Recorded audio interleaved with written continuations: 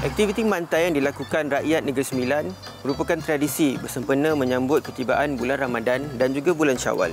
Yang mana ia dilakukan bersama keluarga, daging akan dimasak rendang dan dimakan bersama lemang.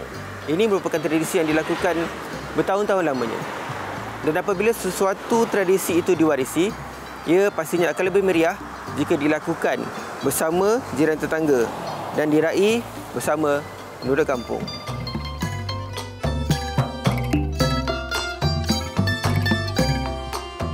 Hasil gabungan nama di antara pertembungan sungai, kuala dan pokok sempunek, Kampung Lonek mendapat namanya sekitar kurun ke-19. Ia mengandungi lima rangkaian kampung dengan hampir 200 keluarga. Adat hidup berjiran lebih-lebih lagi apabila di kampung sentiasa bekerjasama dan mengambil berat muafakat sesama jiran tetangga dan penduduk kampung membuatkan sambutan mantai terasa lebih meriah. Setiap kali tiba hari mantai, pasti akan ada yang berkunjung untuk bergotong royong. Lemang biasanya akan disediakan oleh golongan wanita, manakala proses membakar dilakukan oleh mereka yang lebih berpengalaman. Ini antara aktiviti dan tradisi yang telah dilakukan di sini bertahun lamanya kita dah memang mengikut tradisi tu. Saya pun memang dah mengikut tradisi dari kecil lagi.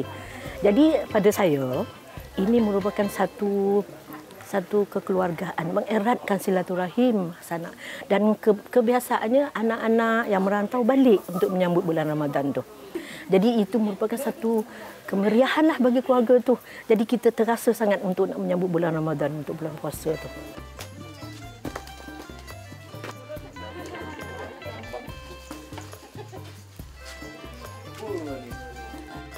Selain lemang dan rendang, antara menu wajib ketika hari mantai ialah penganan atau dodol cair. Juadah pemanis mulut ini semakin jarang didapati pada hari-hari biasa dan sering diidamkan peminatnya.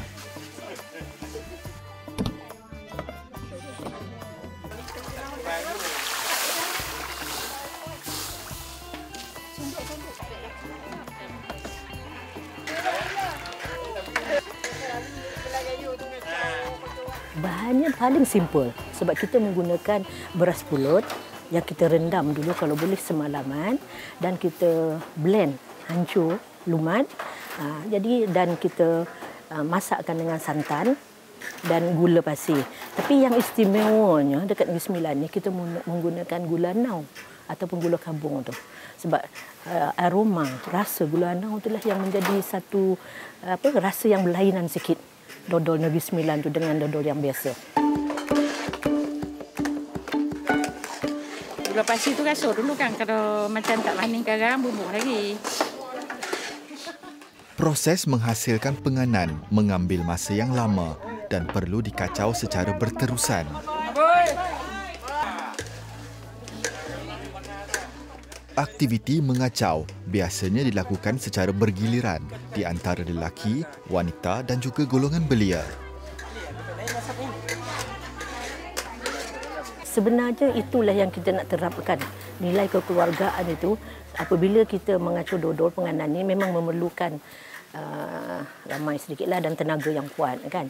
Jadi di situ jugalah kepada saya saya nampak ada satu kemesraan antara ahli keluarga itu dan anak-anak muda ni kita libatkan bersama terutama sekali untuk mengacau ya mengacau penganan tu. Sebab mengacau penganan ni mengambil masa yang lama juga ya. Terutama sekali jadi apabila adunan tu dah macam kental sedikit kan? Jadi itu memerlukan satu tenaga yang kuat juga lah.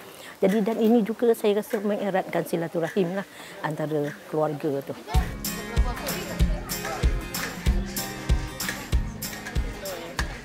Muhammad Adli Alif yang mesra disapa Aboy antara anak muda penyambung tradisi mantai. Dia aktif membantu setiap kali tiba musimnya terutama dalam mencari bahan pelengkap juadah.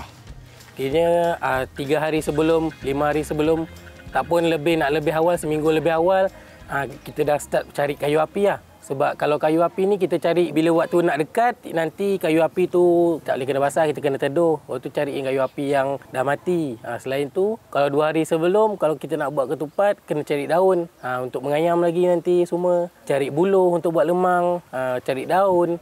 Ha, macam tu aktiviti yang kita boleh buat tolong. Ha, kiranya memang minat lah, minat ha, benda macam ni. Kita kan asal pun lahir daripada kampung, ha, bukan asal dari bandar. Ha, tu kita minat benda macam ni. Ha, minat bercampur dengan masyarakat pun sekali. Ha. Namun, di sebalik kemeriahan meraihkan Hari Mantai, tidak semua anak muda yang berasal dari kampung ini aktif membantu. Ia bagaimanapun tidak pernah menggugat pendiriannya untuk terus membantu dalam menyambung tradisi. Wah, boleh Rim.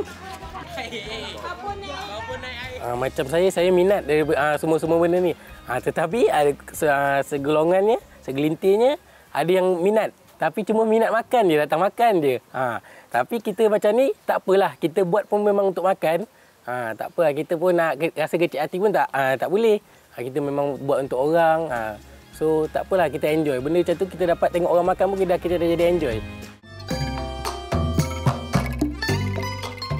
Tradisi mantai sentiasa diraikan bersama oleh penduduk Kampung Lonek. Rendang, lemang dan penganan merupakan gabungan menu tradisi yang akan dimasak setiap sambutan ini dilakukan.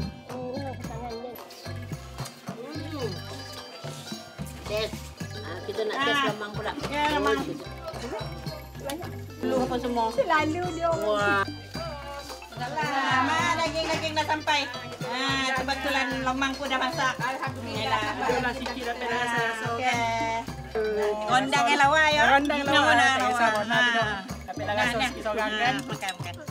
Angkat rondang. Daging tak tani ya ni. Pergi pasal tani awak tadi tu. Yo, kan kita. Biasa di Negeri Sembilan ni mantai kita mantai menyambut puasa dengan mantai hari raya lah. Memang kita masak uh, makan dengan family. Time tu lah kira macam kalau macam Cina kan dia makan besar kan.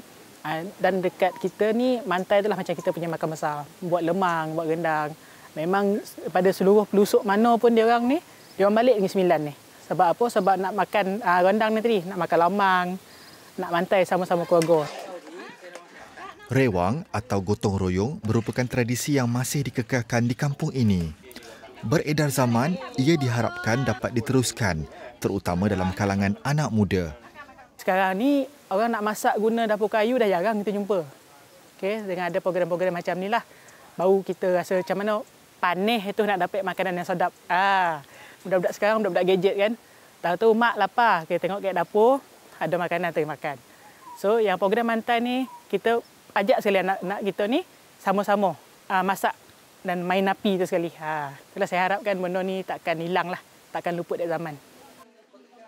Bagi yang merantau pula, tradisi ini menjadi pengikat silaturahim dan memupuk nilai kekeluargaan di mana setiap kali sambutan, mereka akan balik ke kampung untuk meraihkannya. Keluar tu memang keluar lah tapi uh, kalau ada aktiviti macam-macam ni, uh, kita weekend contoh nak menyambut puasa, kalau boleh nak balik ke kampung, tak nak lupakan aktiviti macam ni. Ha. Nak kena ada juga kan mantai ni. Ha. Tidak, kalau kita tak teruskan aktiviti mantai ni, nanti lama kelamaan benda-benda macam ni akan pupus. Menu tradisi bersulam generasi. Ia juga sering diperkenalkan kepada para pengunjung yang datang bertamu ke Kampung Lone ini untuk merasai pengalaman beraktiviti di inap desa. Kita ada pelancong juga dia datang di kampung ni dan antara aktivitinya kita tunjukkanlah mengacau dodol ni me- membakar lemang kan sebab kita nak tunjukkan budaya adat cara hidup orang kampung ni. Jadi sempena menyambut bulan Ramadan ni saya juga mengucapkanlah selamat menyambut bulan Ramadan dan kita harapkan uh, apa program bantai ini dapat dikekalkan ke generasi muda yang akan datang supaya tradisi kita ini tidak luput di masa akan datang. Mantai, suatu tradisi yang telah sebati dalam diri setiap anak kelahiran Negeri Sembilan. Setiap yang menyambutnya pasti akan tersenyum, menikmati juadah bermusim hasil muafakat bersama. Selain memupuk nilai kemasyarakatan dan mengeratkan silaturahim, ia juga bertujuan memuliakan kehadiran Ramadan dan Syawal. Selagi terdayo, jagolah tradisi. Adat disanjung, budaya dipuji. Budaya disanjung tinggi, adat pepatih dijaga, sedetik tidak